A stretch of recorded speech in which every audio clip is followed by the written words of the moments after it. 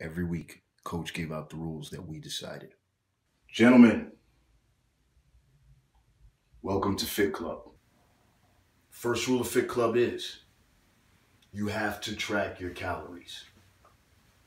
Second rule of Fit Club, you have to track your calories. Third rule of Fit Club, if your form and range of motion decline to the point you're no longer working the target muscle, the set is over.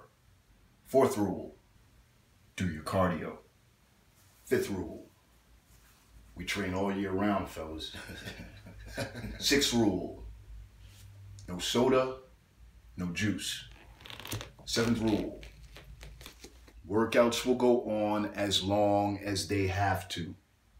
And the eighth and final rule, if it's your first time in Fit Club, you have to do legs.